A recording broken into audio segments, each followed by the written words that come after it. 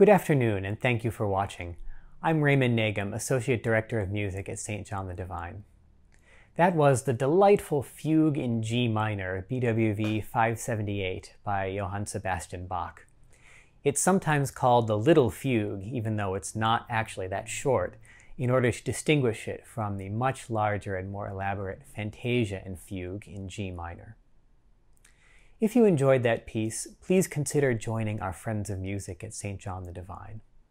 Your support helps us keep these recitals free and available to all during this period when, unfortunately, we're not able to offer in-person concerts. You can go to stjohndivine.org slash donate or use the link in the Facebook event description. Either way, choose Friends of Music from the drop-down menu. The next two pieces are by a Spanish and a Portuguese composer. The Spanish composer Pablo Bruna was one of many famous blind organists throughout history. He lived and worked his whole life in the small town of Daroca in northeast Spain. About the Portuguese composer Antonio Correa Braga, almost nothing is known, not even the dates of his birth and death. But we're fortunate that this particular piece of music has survived and come down to us. Both pieces make colorful use of syncopation, and in particular, a syncopated rhythm of 3 plus 3 plus 2, yata ta ta ta ta dum, yata ta ta ta ta dum. It's a characteristic rhythm of Spanish and Portuguese music, and also of a lot of Latin American music. In addition, the piece by Braga uses the powerful trumpet stops uh, that were found on Portuguese organs. These were often mounted horizontally, uh, pointing straight at the listener uh, for increased brilliance and they were the musical ancestors of things like the state trumpet at St. John the Divine, which is also mounted horizontally on the wall and faces the listener directly. You might wonder if things like this catchy and kind of irreverent batalla or battle piece were actually performed in church, and the answer seems to have been yes. There are, after all, many battle scenes in the Old Testament, and also in the book of Revelation, where St. Michael fights against the devil and casts down the dragon. It could also be interpreted in a more spiritual or metaphysical sense as a battle of good versus evil. This is the Tiento de Primo Tono by Pablo Bruna and the Batalha de Sexto Tono by Antonio Correa Braga.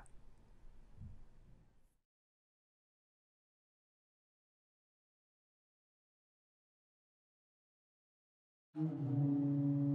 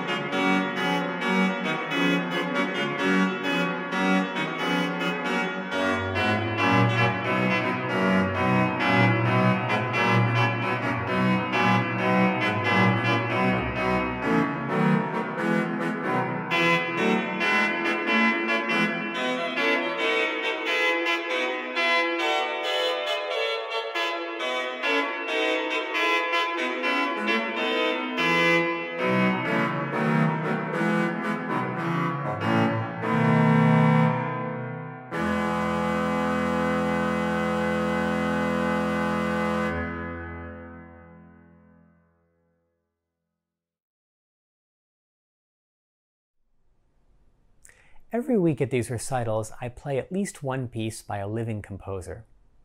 The reason I do that comes from my doctoral dissertation and my research on Serge Koussevitzky, who was the conductor of the Boston Symphony Orchestra from 1924 to 1949. Those years were considered the golden age of American orchestras, a time when classical music was at the height of its popularity in this country. And I discovered that during those years, the BSO played anywhere between 25 and 50% music by living composers every single year. I was completely staggered when I found that out. And I started wondering what if arts organizations did the same thing today? When we launched this concert series, I felt that here was a chance, an opportunity to do something about it with my own performances. Today's living composer is Adolphus Hailstork, who is professor of music at Old Dominion University in Norfolk, Virginia. His pieces have been performed by almost all the major symphony orchestras in the US and by all the top choral ensembles as well. We're fortunate that he has written a couple of pieces for organ too. This is his Adagio and Fugue in F minor. Both Adagio and Fugue are based on the same theme, which you'll hear at the very beginning of the Adagio. It may start out sounding a little bit like a Baroque prelude, uh, but both prelude and fugue go their own way after that, and they get much richer and more intense than a Baroque piece would. This is the Adagio and Fugue in F minor by Adolphus Hailstork.